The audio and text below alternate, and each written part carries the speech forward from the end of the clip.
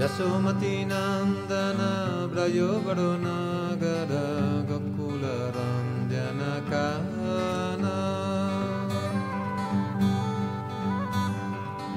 यशोमतीनन्दन व्रयो वरुणगर गोकुलरञ्जनकाना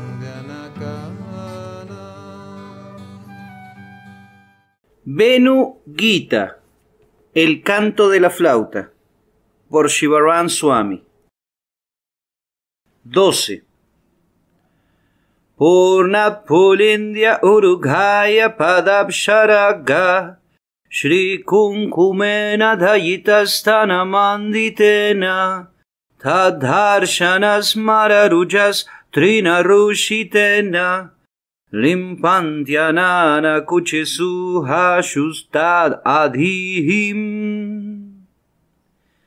Las aborígenes del área de Brindaban quedan perturbadas por la lujuria cuando ven el pasto manchado con el rojizo polvo de cúncuma. Dotado del color de los pies del loto de Krishna, este polvo originariamente decoró los pechos de sus amadas, y al ungir sus rostros y pechos con él, las aborígenes calman su ansiedad. Srimad Bhagavatam, décimo canto, capítulo 21, texto 17. Capítulo 12. Las pulandis recogen los remanentes de cúncuma. El cúncuma es el polvo de color rojo que usaban las damas de la cultura védica como cosmético. Aunque se espolvoreaba principalmente la parte descubierta de los senos, también puede aplicarse ligeramente en todo el cuerpo o rostro para teñir la piel de un color rojizo. Como todas las damas de la época, las gopis usaban polvo de cúncuma y después de sus pasatiempos amorosos con Sri Krishna, parte de ese polvo quedaba en el cuerpo de él. Las páginas del Srimad Bhagavatam son testimonio del papel que el cúncuma juega constantemente en los pasatiempos de Sri Hari. Ya sea que estimule el amor extático, que incite el apego espontáneo en Sri Krishna o en sus acompañantes, que sirva de mensajero para proclamar la buena fortuna de las gopis que han disfrutado de su abrazo, o que actúe como un medio para aliviar el dolor de la separación en su ausencia. Las diversas referencias a este simple polvo color vermellón proclaman su buena fortuna. Así como el esposo que se encuentra separado de su casta esposa unge el rostro de ésta con cúncuma a su regreso, la aparición de la tan esperada luna llena del mes de Kartik unge el horizonte este con un color rojizo brillante, recordándole al príncipe de Braya de su voto de desposar a las gopis. La naturalmente romántica atmósfera del bosque llenó de flores fragantes y brisas refrescantes que suspiraban bajo el suave resplandor del cielo de otoño. Inspiró a Sri Krishna a ejecutar la danza rasa. Camino a la ribera del centellante Yamuna, Sri Krishna se paró bajo el árbol de los deseos de Vansivata y convocó a las gopis con las seductoras canciones de su flauta. Cuando la flauta, la enemiga proclamada de las gopis, entregó su mensaje a las esposas de Braya, una oleada de apego espontáneo corrió por el bosque de Brindaban, arrastrando consigo los diversos peces Sabhari de las gopis, cuya única fuente de vida era el placer de Sri Krishna. Después del encuentro y del coqueteo inicial, las gopis se enorgullecieron de tener al famoso Sri Krishna de amante. Con el fin de aplacar su engreimiento y expresar una preferencia especial por Sri Radha, Rasa Vihari desapareció de la vista de todas, exhibiendo así su inigualable espíritu de renuncia. Solo se llevó a Srimati Radharani consigo, le mostró la belleza del bosque de medianoche y la satisfizo de diversas maneras con dulces palabras, cortesía y atención exclusiva. Sumamente tristes por la separación de Sri Krishna, las demás gopis comenzaron a deambular de aquí para allá, adentrándose aún más en el oscuro bosque en busca de su amado. Cuando se encontraron con una sierva que buscaba a su macho, inmersas en la locura de la separación y desesperadas por saber del paradero de Harí, las gopis interrogaron a la ignorante criatura. Las confundidas gopis, que ahora lamentaban su orgullo, pensaron que los movimientos normales de la sierva decían algo del paradero de Sri Krishna y la siguieron entusiasmadas. Cuando una agradable brisa les hizo llegar la fragancia de la guirnalda de flores de Sri Krishna, embadurnada con cúncuma, su tristeza se aplacó y dijeron Oh amiga, esposa del siervo, han estado aquí el señor Achyuta y su amada, dando gran alegría a tus ojos. A decir verdad, por aquí se siente la fragancia de su guirnalda de flores cunda, la cual se manchó con el cúncuma de los senos de su amada cuando él la abrazó. Las gopis entraron en las profundidades del oscuro bosque y le preguntaron a todas las criaturas por el paradero de Sri Krishna. Aquel que siempre se encuentra más allá del alcance de la mente y los sentidos, siguió por detrás a las descorazonadas gopis, permaneciendo invisible pero escuchando sus expresiones amorosas ante la separación de él. Cuando encontraron a Sri Radha lamentándose, abandonada en medio de sus pasatiempos, las gopis iniciaron un sankirtan de los nombres de Sri Krishna, hasta que finalmente lo indujeron a aparecer entre ellas, lo cual acabó con el gran pesar y secó sus lágrimas. Felices de estar en su compañía, las gopis olvidaron el gran dolor de su ausencia y trataron de complacerlo de muchas maneras. Sukadeva Goswami dijo, el dolor de su corazón fue eliminado por el éxtasis de ver a Krishna, y las gopis, al igual que los Vedas que se encontraban enfrente de ellas, sintieron que sus deseos quedaron completamente satisfechos. Para su querido amigo Krishna, armaron un asiento con sus mantos, los cuales estaban manchados con el polvo de cúncuma de sus senos. Sentados a orillas del Kalindi y rodeados de muchas abejas zumbantes, Sri Krishna y las gopis disfrutaron de aquella encantadora playa, aromatizada con una brisa que transportaba la fragancia de florecientes cundas mientras las gopis intercambiaban miradas amorosas y dulces palabras con Sri Krishna. Un deseo de colocar sus pies en su corazón les invadió la mente. Al recordar cómo él iba tras las vacas, caminando descalzo por las piedras y las espinas, su mente se perturbó y sintieron un gran dolor. Para atenuar el malestar de Krishna y calmar la ansiedad de ellas, le surgió el deseo de ofrecerle a Sri Krishna el más suave de los senderos, sus delicados cuerpos. Solo con el bosque de Brindaban y la luna llena de testigos, ellas dijeron, Yate sushata charanam buru hanstaneshu, vitasanayu priya sadhimahi karkasheshu, tenata vinata shitat vyatatena kinsuit, kurpadi virvramati dhirbhavat, Ayushannaha. Oh amado, tus pies de loto son tan suaves que los colocamos con mucho cuidado sobre nuestros senos por temor a que se dañen. Nuestra vida depende sólo de ti. Por lo tanto, nos preocupa sobremanera que tus tiernos pies no vayan a dañarse con los guijarros mientras vagas por los senderos del bosque conociendo sus aspiraciones trascendentales. Sri Krishna, quien siempre está amorosamente dispuesto hacia sus devotos, satisfizo su deseo, y el cúncuma de los senos de las gopis embadurnó sus pies de loto, los cuales están marcados con el loto, la caracola y el disco. Por complacer a las gopis de esta manera, los pies manchados con cúncuma de Sri Krishna se hicieron famosos tanto dentro como fuera de los límites de Braya. Durante su visita a Brindaban, Akrura dijo, Los pies del loto de Krishna son adorados por grandes semidioses como el señor Brahma y el señor Shiva. Sin embargo, con esos mismos pies manchados con el cúncuma de los pechos de las gopis, el señor camina por el bosque mientras cuida de las vacas, junto a sus compañeros.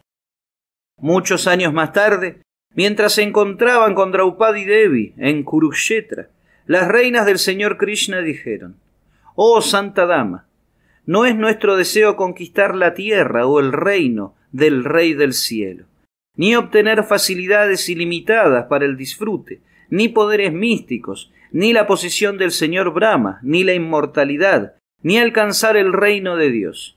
Simplemente deseamos llevar sobre nuestra cabeza el glorioso polvo de los pies del señor Krishna, enriquecido con la fragancia del cúncuma de los pechos de su consorte. En su comentario sobre este verso, Srila Vishwanatha Chakravarti Thakur declara que la consorte a la que las reinas se refieren es Srimati Radharani. Por su extraordinaria belleza y amor, Sri Radhika no tiene rival entre las gopis, entre las reinas de Dwarka, ni entre las Lakshmis de Vaikunta. Además, los lazos del apego por él son las cuerdas exclusivas por las que el incontrolable príncipe de Braya queda completamente bajo su control, y el cúncuma de sus pies de loto es el intachable testigo de esta extraordinaria habilidad de Srimati Radharani. Mientras cuidaba de las vacas en compañía de sus amigos, Sri Krishna decoró el área del monte Govardhana con las marcas de sus pies, los cuales estaban manchados con el mismo cúncuma que primero había adornado los senos de Sri Radhika. Atraídas por el sonido de la flauta, algunas pulindis o muchachas que pertenecían a una tribu de aborígenes del bosque entraron en un claro buscándolo a él. Ardiendo de deseos amorosos, ellas vieron sus escantadoras huellas y después de recoger el cúncuma que las adornaba, ungieron sus senos y rostros con él. Así las muchachas se libraron de la arremetida de Cupido. Este resumen se halla en el comentario de Sridhar Swami sobre este verso. Cuando salió de Nandagwan junto a sus vacas y amigos y entró jovialmente al bosque de Brindaban, Sri Krishna llevó consigo la mente de sus padres, amigas y parientes, dejando a los Brayavasis inmóviles como un ejército de muñecos. Ante su partida, Madre Yasoda y Nanda Maharaj cayeron como árboles arrancados de raíz por el viento. Automáticamente, sus compañeros los llevaron a Nandagwan y continuaron con sus actividades diarias por pura costumbre, cantando constantemente las glorias de Sri Krishna como su único medio de subsistencia. Abatida por su desaparición, Radika también cayó inconsciente en los brazos de sus sirvientas, lo cual perturbó a Kundalata, quien había prometido llevarla de regreso a Shabbat después de que Govinda desayunara. Aunque los sentimientos de separación la invadían, ella logró controlar sus emociones y llevó a Sri Radha y a sus amigas a la casa de Abhimanyu, donde la vara Yatila ya estaba ocupada haciendo muchas pilas de estiércol de vaca. Solo los pastorcillos y las vacas seguían deleitándose con la compañía de Sri Krishna, mientras sus padres, parientes y hermanas lamentaban su ausencia. La ciudad de Shabbat se encuentra a una hora de camino a pie al oeste de Nandagram. Está situada sobre una pequeña colina y es el lugar de residencia de una tribu de Abhimanyu, el esposo de Sri Radha. Las innumerables vacas que conforman el ganado de Aigosh, un nombre popular de Abhimanyu, parecen el océano de leche que rodea Suetadwip, la isla donde reside el señor Vishnu. En la cima de la colina se halla la casa del hijo de Yatila, brillante como el palacio que el señor Indra tiene en la ciudad de los Devas. En el centro de aquella morada hay un gran jardín que tiene como ornamento una torre lunar de siete pisos. Con el fin de aplacar los sentimientos de rada de separación de la familia, el cariñoso rey Brillavano construyó este extraordinario palacio para el placer de su amada hija. Desde lo alto de la torre, Sri Radha fácilmente puede ver su hogar paternal de Barsana, que se encuentra al sur de Javad y al sureste de Nandagwan. Otros tres yojanas más al sur de Nandagwan se halla el monte Govardhana, el Radakunda y la errante convención del príncipe de Brindavan. Cuando regresaron de Nandagram, Lalita y Vishaka acompañaron a Radharani a su habitación, donde sus sirvientas, con gusto, la bañaron, secaron, masajearon y volvieron a vestir, para luego decorarla con ropa y ornamentos nuevos. Apenas llegó una muchacha de nombre Narmada y que hacía guirnaldas con muchas flores vacula, saptala, yati, champaca y lavanga, todas apenas abiertas y sin ser tocadas por las abejas, Sri Radhika mostró su habilidad para hacer una guirnalda, para decorar los brazos y piernas de Sri Krishna. Después de enhebrar una guirnalda, Vaijayanti, y preparar una bandeja de dulces, Sri Radhika, contenta, envió unas sirvientas a entregárselos a Govinda, quien se encontraba a una distancia que le destrozaba el corazón. Cuando subió las escaleras de la torre, Radhika, la de rostro dulce, fue seguida por sus amigas y sirvientas, quienes subieron a la gran terraza que había en lo alto, como el humo cuando sube por las ramas de un árbol. La gran extensión de los pastizales de Brindaban, salpicados de colinas, bosques, ríos y lagos, se extendían ante ella como una sirvienta que aguarda a su señora ansiosa por ver a Jarí, forzó la vista y colocó su mano derecha sobre su frente para protegerse los ojos del resplandor del sol. Mirando en dirección al monte Govardhana, Sri Radha pudo ver los eternos pasatiempos de su amado. A medida que el sol seguía subiendo, las diferentes aves que volaban por el cielo cantaban sobre su amor por Sri Krishna. El viento soplaba ligeramente transportando la fragancia de flores de loto que se abrían y se refrescaban con el rocío del Yamuna.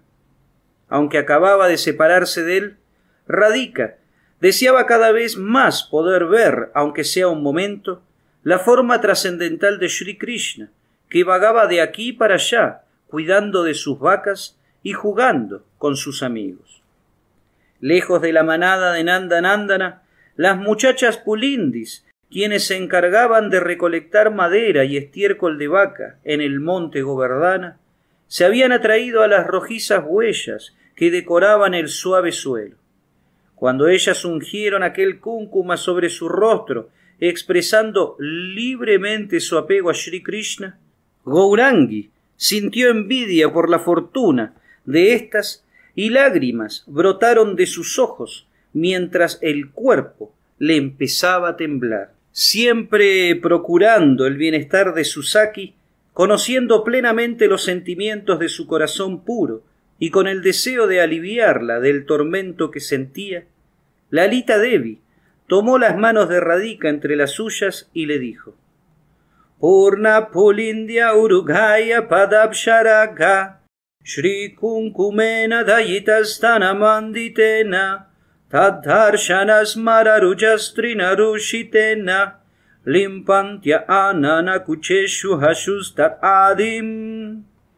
las aborígenes del área de Brindaban quedan perturbadas por la lujuria cuando ven el pasto manchado con el rojizo polvo de cúncuma.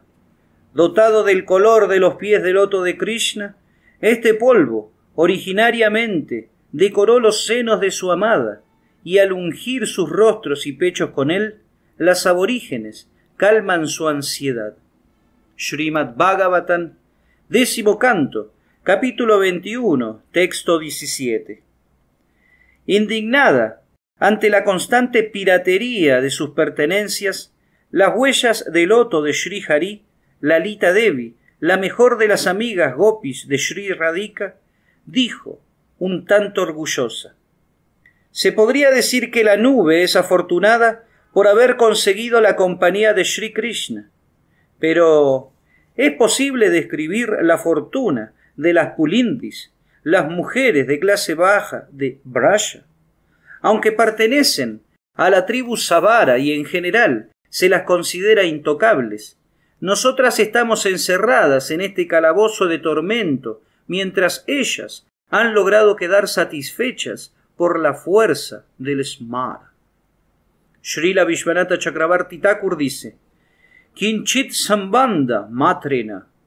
Este verso no hace referencia al canto de la flauta, ni a la belleza de Sri Krishna, ni a su forma, ni a sus cualidades. El humor de las gopis ahora está dominado por mojita o sentimientos de duda, fundados en algo relacionado con Krishna, el cúncuma que las pulindis encontraron en la hierba vestida con un sari brillante y colorido como las plumas de la cola de un pavo real que danza en éxtasis, con el torso cubierto con un chaneyu sumamente atractivo, la raya del cabello decorada con un reluciente polvo rojo y decorada con muchos collares y joyas preciosas, Lalita Devi dice ¡Eh, Sakis!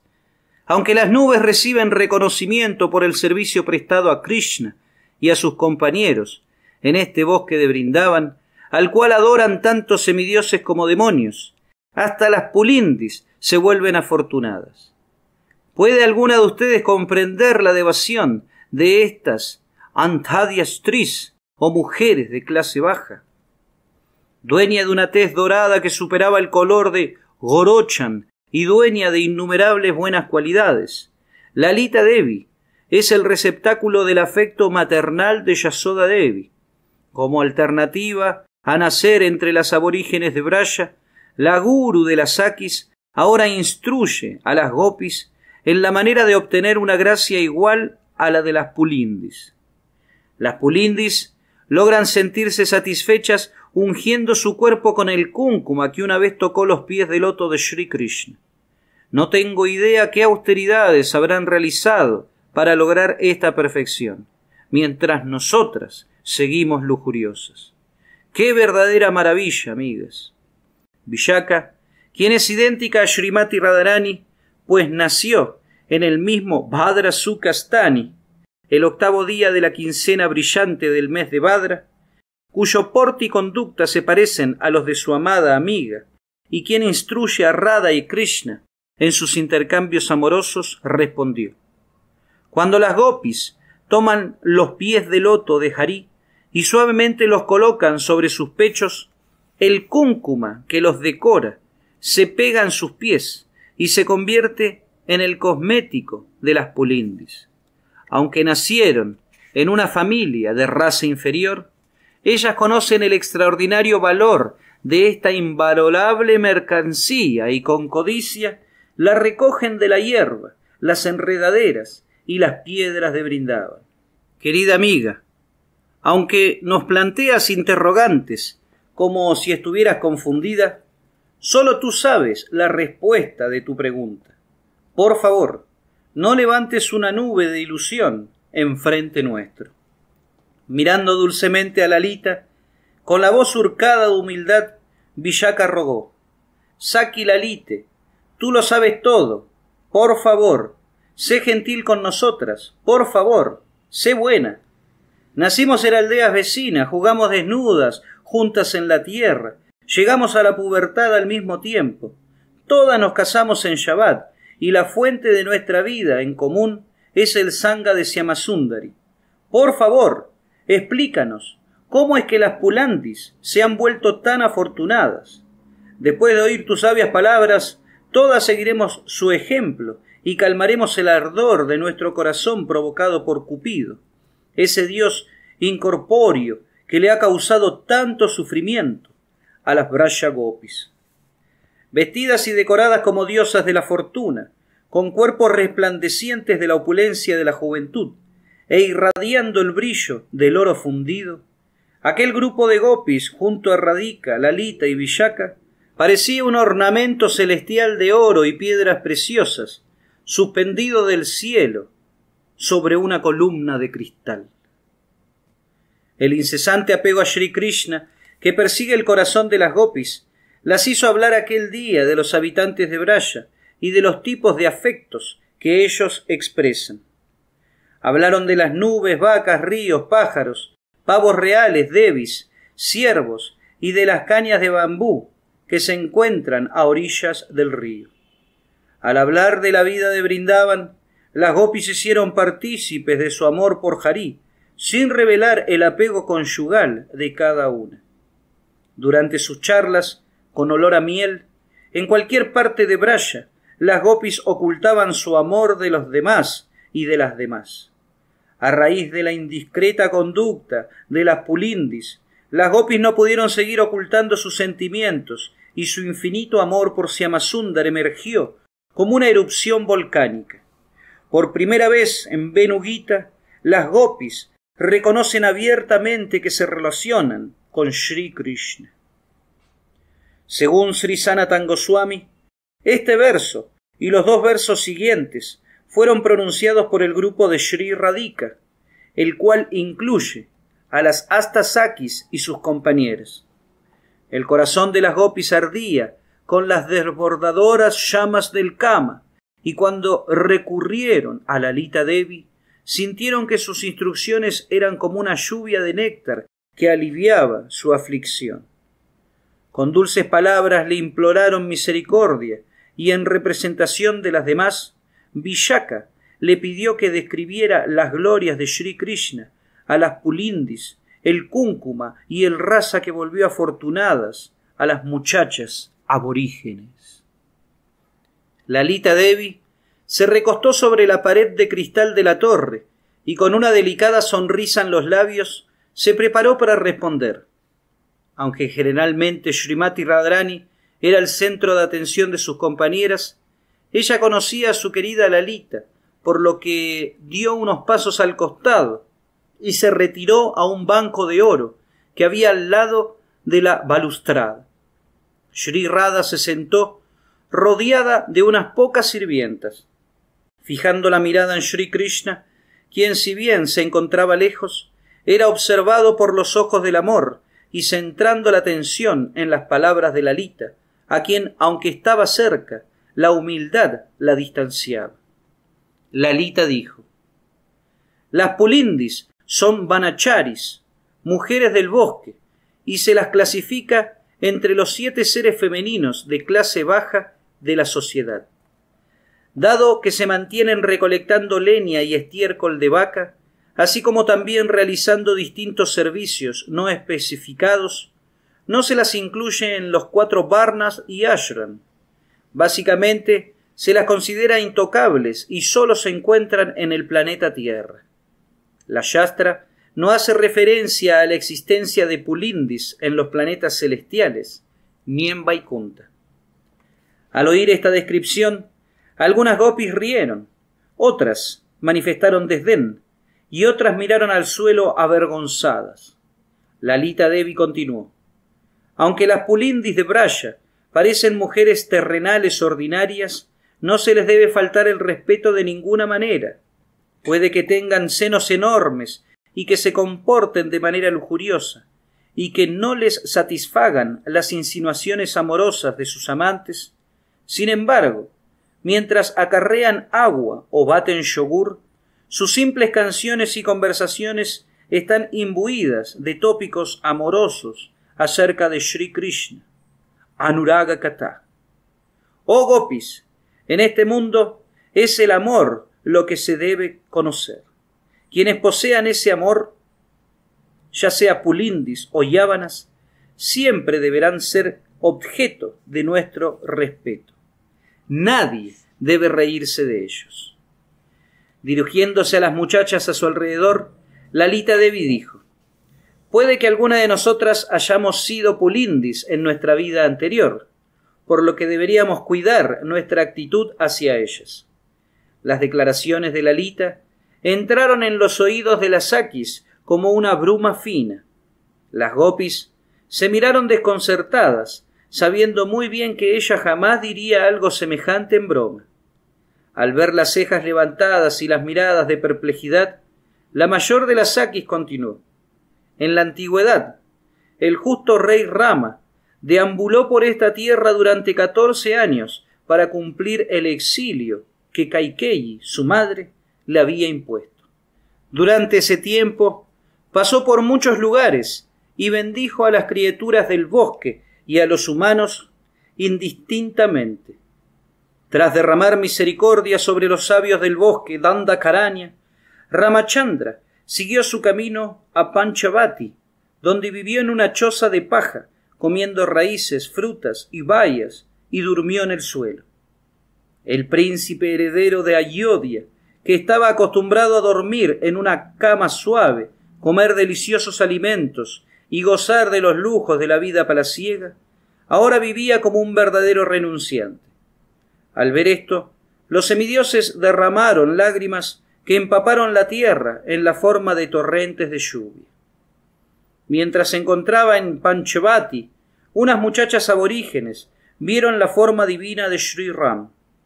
Inundadas de deseos amorosos, ellas ungieron el polvo de sus pies de loto en sus cuerpos, y enteradas de su voto de tener solo una esposa, Sita Devi, decidieron suicidarse. Tras adoptar la forma de un apuesto brahmachari, vestido con corteza de árbol, con el cabello enmarañado y portando una vara y un camandalu, el rey de Ayodhya disfrazado dijo Oh damas, no tienen necesidad de abandonar este mundo sin razón alguna. Al fin de Dwapara Yuga, en la tierra de Brindaban, todos sus deseos se cumplirán. Mientras miraban asombradas, el brahmachari desapareció, y con el tiempo las pulindis nacieron tal como el Señor lo había predicho. Mirando a todas y a cada una de las gopis individualmente, Lalita Devi dejó que las elocuentes palabras de su largo silencio hicieran sentir sus enseñanzas. Luego, ella sonrió y asintió lentamente con la cabeza. Algunas gopis juntaron las manos como muestra de respeto, mientras otras se inclinaron desde la cintura. Al ver que algunas parecían no creer sus afirmaciones, Lalita dijo enérgicamente Sarvaneva Sambhavati. Todo es posible. Mis queridas amigas, después de todo, es el amor lo que se debe conocer. Srimati Radhika, quien estaba sentada cerca, pensó, por su gran anuraga a que estas muchachas aborígenes sean siempre glorificadas. Ofrezco mis reverencias a ellas. Conociendo la manera de pensar de Sri Radha, Vishaka Devi preguntó Mientras este verso parece tratar de las pulindis, sospecho que hay otro tema oculto y más importante que debe ser tenido en cuenta. Expectantes ante la posible revelación de un asunto más confidencial, los rostros de las gopis se abrieron como lotos al sol. Si conoces un significado más profundo de este pasatiempo, entonces por favor dilo, Villaque, dijo una muchacha. Después de mirar primero a Radica y luego a Lalita, Villaca dijo con audacia La palabra Dayita implica a una heroína que siempre está complaciendo a todos, que es muy cariñosa con sus amigas, misericordiosa con todos los seres y el objeto del amor del rey de los héroes. Las glorias de esta persona se darán a conocer, pues, por su gracia, las pulindis se vuelven afortunadas. Bien dicho, bien dicho, exclamaron a coro las bellas gopis. Conteniendo una sonrisa, Lalita preguntó Saki, mi querida amiga, ¿por qué no habría yo de hacer énfasis en el tema de descripción principal en vez de concentrarme en unos menos importantes. Villaka miró alrededor para confirmar la privacidad de su conversación. Las demás gopis hicieron lo mismo. Nosotras, las gopis, raramente hablamos abiertamente en público debido a los obstáculos que tenemos en la forma de familiares, suegros y cuñados, y a las normas de la sociedad. Por consiguiente, para guardar los secretos de nuestro corazón so pretexto de glorificar una cosa, ocultamos nuestras verdaderas intenciones, haciendo uso del lenguaje indirecto. ¿No es así, Saki Brinde? Las gopis se miraron entre sí, los ojos les brillaban, felices de que el disimulo de su amor había sido sacado a la luz. Alarmada por una inminente conversación cuyas fronteras aseguraban hacerle pasar vergüenza, Radika habló con su conciencia. Saki Villake, tista tista, shh, shh. Atendiendo el deseo de su muy querida amiga, Villaka, también conocida como Anurada, la fiel seguidora de Radika, dijo Lalite, por favor, explica con claridad lo que quisiste decir al principio. Lalita Devi respondió Muy bien. Ya que estamos en un sitio seguro donde nadie nos escucha y que los únicos secretos son lo que escondemos unas de otras, revelaré el significado oculto de este verso, tal como lo sugiere nuestra buena amiga. Sabiendo que en lo que a glorificar a su Yuteshvari se refería, Lalita era más difícil de refrenar que las demás. Sri Radha solo se encogió más en el asiento y miró hacia abajo. Lalita continuó. La palabra Dayita se puede usar en singular y en plural. En mi opinión, este caso implora la forma singular. ¿Quién es esa heroína sobre cuyos altos senos Sri Krishna siempre tiene los pies y cuyo cúncumo ahora adorna la tierra de Braya y los cuerpos de las pulindis? Brillavano Kumari, Charana Pankaya, Gyutaya, exclamó Tungavidya, quien conoce todo lo conocible, aquella que brilla que se encuentra en Madhana, la séptima etapa de Mahabhava, Brillavano Kumari Radha, es esa misma Dayita. Volviendo la vista hacia Susaki, quien se había escondido de la vergüenza que estaba pasando, todas las gopis aplaudieron a la vez y exclamaron ya de, ya de. En sus pensamientos Srimati se quejó del uso en singular de Dayita y le ordenó a Lalita que hablara del uso en plural y de sus consecuencias. Lalita respondió en voz alta se podría argumentar que la confidencialidad con la que las gopis guardan su buena fortuna es la causa del uso en singular de Dayita, en vez del obvio uso en plural. Después de todo, Bien se sabe que todas ustedes han disfrutado de la buena fortuna de colocar los pies aromatizados con almizcle de Govinda sobre sus pechos. Para reafirmar lo dicho, se podría abogar que debido a su gran anuraga, todas y cada una de las gopis emite un brillo durante el lila de Govinda. Al oír su razonamiento, muchachas eruditas como la gemela Sudevi y Ranga Devi con gracia. Dijeron que no con la cabeza. Lalita continuó. Pero no creo que semejante afirmación sea acertada.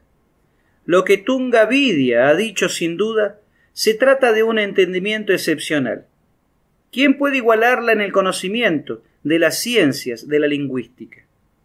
La más destacada de las heroínas reúne las cualidades de una dayita. ¿Quién más que nuestra amada Rada puede serlo? Y como a ella no le agrada que la glorifiquen, he elogiado a las pulindis, quienes se lo merecen, pues poseen el tesoro de Anuraga. Por favor, disculpen la omisión, pero, como dice Villaka, hay que decir la verdad, concluyó Lalita Devi. Casi cara contra cara, Sri Radha le susurró a Rupa Manjari. Entonces, ¿por qué no dejamos que esa persona en singular sean Lalita o Villaka? Ya que las dos mantienen encuentros amorosos cercanos con Harí.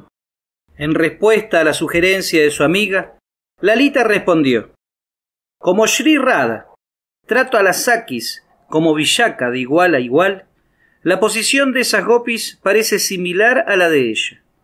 Utilizando esa lógica falsa, también se podría arguir que cualquier Priya Narma Saki puede ser llamada Dayita. Tengo una respuesta muy simple. Todo el mundo recuerda cómo Sri Krishna, sin vacilar, abandonó a millones de gopis de rostro de luna para relacionarse exclusivamente con Radha durante la noche de luna llena de Sarat. Hace falta mayor prueba para demostrar la inigualable posición de Sri Radha. Aunque sus Sakis son refulgentes como el sol, su brillo no se manifiesta por sí solo, sino que es un reflejo del resplandor de Radica, que se manifiesta en sus formas al haberse refugiado plenamente en ella. Con un susurro que apenas se oía, con la tez teñida del rojo resplandor de la vergüenza, Sri Radha dijo Lalite, ¿por qué no describes algún otro aspecto de este verso? Vishaka Devi, siempre lista para satisfacer los deseos de Radhika, dijo Kena Pulindinanto Shankim. Querida Saki, por favor, explica cómo fue que las Pulindis consiguieron el polvo de cúncuma que ahora decora su cuerpo. Lalita respondió Trineshu Rushitena Lagnena. Mientras vagaba por el bosque, de brindaban como un pequeño elefante, seguro y lleno de orgullo de la juventud, Sri Krishna coloreaba de rojo las hojas y enredaderas de brindaban con el polvo de cúncuma que caía de sus pies de loto. Cuando las pulindis llegaron al medio del bosque, notaron que la hierba estaba manchada con cúncuma y con gran codicia lo recogieron considerándolo un gran tesoro. Chitra Devi, la mejor de las damas, cuya tez era como oro embadurnado con azafrán, quien estaba vestida con ropas que parecían cristales resplandecientes, y quien hablaba con una voz muy suave, dijo Las pulindis son recolectoras, y los bosques de Brindaban son su ámbito. Aunque generalmente buscan estiércol de vaca, leña y frutos silvestres, al conocer el valor del cúncuma de los pies del loto de Govinda, siempre están atentas a encontrar ese tesoro. La posición erecta de la hierba de Brindaban se debe a su sattvika bhava. Tatu Brindavane pada tranambine. Hari siempre camina de aquí para allá descalzo. A raíz del contacto divino con él, la hierba ha desarrollado un gran prema y con gran codicia rasquetea el cúncuma de los pies, el cual es su maja prasada. Luego las pulindis saquean la prosperidad de la hierba y saben muy bien de dónde viene semejante riqueza. Vayantu, tan solo miren qué impudencia. Muy complacida con las dulces palabras de Chitradevi, Lalita acarició sus mejillas y dijo Chitre, tu conocimiento sobre las plantas es único. Deberíamos considerar que Trina Rushitena extiende el mensaje de sus propias características para referirse a Shila Dishu. Así, el cúncuma se encuentra en todas partes, hasta en las piedras, y en general en todo el suelo del bosque de Brindaban. Sin duda para quienes tienen los ojos para verlo, las huellas rojizas de Krishna se encuentran en todas partes y en todos los tiempos por todo el territorio de Brindaban. Villaque, querida amiga, tú preguntaste cómo es que estas pulindis han decorado su cuerpo con cúncuma. Por favor, escucha mi respuesta. Mientras Krishna entretenía a sus amigos, tocaba la flauta de formas muy encantadoras, provocando en ellos más y más placer, y también evitando que las vacas se perdieran. El sonido de su flauta buscó a estas muchachas aborígenes, y cuando las encontró, incrementó su deseo de encontrarse con él. Abordadas a la fuerza por la flauta, las pulindis quedaron inundadas de cama y desearon encontrarse con Sri Krishna de inmediato. Siguiendo el sonido del canto de la flauta como serpientes encantadas con un mantra, llegaron a un claro del bosque y vieron el cúncuma rojizo en el suelo. Aunque Sri Krishna no estaba presente en persona, ellas reconocieron sus huellas y sin un dejo de vergüenza, enseguida lo ungieron en su rostro y senos. De esta manera, quedaron completamente satisfechas, aunque no les gustaba cuando sus amantes tocaban sus pechos. Villaque, así es como las pulindis ungieron el cúncuma que primero decoró el cuerpo de Sri Radhika. Aquel día se entablaron varias conversaciones con respecto al sonido de la flauta y su música trascendental, pero ninguna fue tan abierta como las conversaciones de las gopis sobre las pulindis, por disposición de Yogamaya, Las gopis estaban en un lugar apartado y libres de las curiosas miradas de sus superiores, y la larga separación de Sri Krishna las hacía dejar de lado las inhibiciones y expresarse libremente entre ellas.